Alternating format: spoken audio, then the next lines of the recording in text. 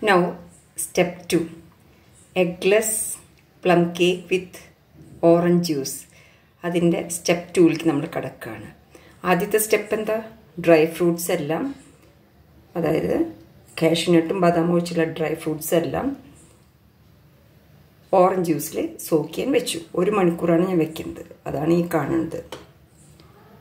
Soak ചെയ്യാൻ വെച്ചിരി വെച്ചിരിക്കുകയാണ് അത് സോക്ക് ചെയ്തതിന് ശേഷം ബാക്കി എല്ലാ കാര്യങ്ങളും നമുക്ക് അടുപ്പിച്ച് വയ്ക്കാം ഞാൻ മൈദ കൊണ്ടല്ല ഉണ്ടാക്കാറ് കേക്ക്. ഗോതമ്പ് പൊടി പൊടിയുണ്ട്. വീട്ടിലുണ്ടാക്കണ ഗോതമ്പ് പൊടി. വീട്ടിൽ മില്ലിൽ കൊണ്ടുപോയി പൊടിപ്പിച്ചുണ്ടാക്കിയ ഗോതമ്പ് പൊടി. ആ ഗോതമ്പ് പൊടി അര കിലോ ആണ് ഞാൻ എടുത്തിട്ടുള്ളത്. അര കിലോ ഗോതമ്പ് പൊടി. അത് എടുക്കണേക്കാളും എടുത്തതിന് ശേഷം മിക്സിയിൽ കുറേശ്ശെ കുറേശ്ശെ ഇട്ട് നന്നായി പൊടിച്ച് നന്നായി പൊടിച്ച് പൊടിച്ച് നന്നായി നന്നായി പൊടിച്ചെടുക്കുക. അങ്ങനെ പൊടിച്ച് വെച്ചതാണ്. അര കിലോ ആണ് ഇതിലുള്ള ഗോതമ്പ് പൊടി നമ്മൾ വീട്ടിലുണ്ടാക്കിയ ഗോതമ്പ് പൊടി വാങ്ങിക്കേണ്ടതല്ല വീട്ടിലുണ്ടാക്കിയ ഗോതമ്പ് പൊടി ഒന്നും കൂടി ഉണ്ടാക്കണേക്കാൾ മുന്നേ നന്നായി മിക്സിയിൽ നന്നായി ആ പൊടീനെ അതായത് പൊടീനെ ഒന്നും ചെയ്തില്ല വറക്കൊന്നും ചെയ്തിട്ടില്ല.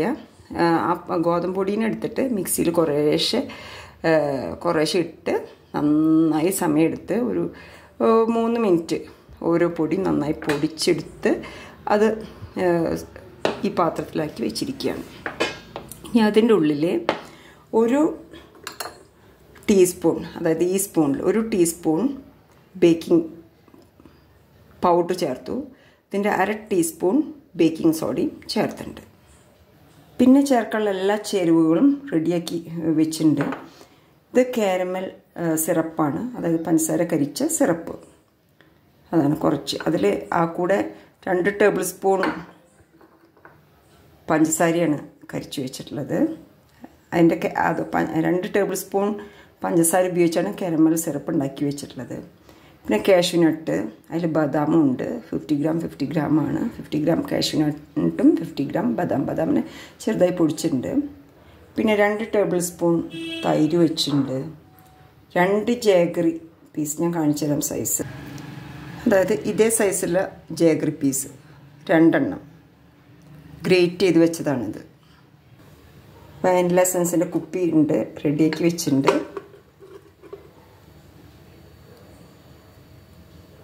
പിന്നെ ബട്ടർ ഹൺഡ്രഡ് ഗ്രാമിന്റെ ബട്ടർ അമൂൽ ബട്ടർ വാങ്ങിച്ചിട്ട് ഇതിൽ ഉപ്പുള്ള തരമാണ് അതിന്റെ ഒരു ചെറിയൊരു പീസ് ഒരു ബാറ് മുറിച്ച് വെച്ചിരിക്കുകയാണ്. ഹോം മെയ്ഡ് കണ്ടൻസ് മിൽക്കാണ് അതൊരു മൂന്ന് ടേബിൾ സ്പൂൺ വെച്ചിട്ടുണ്ട്. പിന്നെ ഹോം മെയ്ഡ് മിക്സ്ഡ് ഫ്രൂട്ട് ജ്യൂ ഫ്രൂട്ട് ജാമാണത് ഇതും ഒരു ടേബിൾ സ്പൂൺ നിറച്ചെടുത്ത് വെച്ചിട്ടുണ്ട്.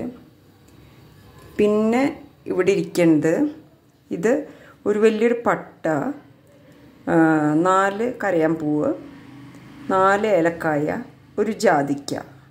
ജാതിക്കായ ജാതിപത്രികയിലെ ജാതിക്കായ.